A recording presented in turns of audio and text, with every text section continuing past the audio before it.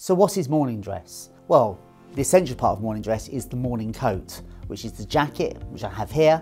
Um, similar to a business suit or a, a, blazer in the sense that it's tailored with the lapels, a single-breasted closure, but the main difference here is it's a lot longer with these rounded fronts and you'll notice a waist seam at the front. This waist seam gives the garment a lovely, lovely shape and it's very popular in 19th century tailoring.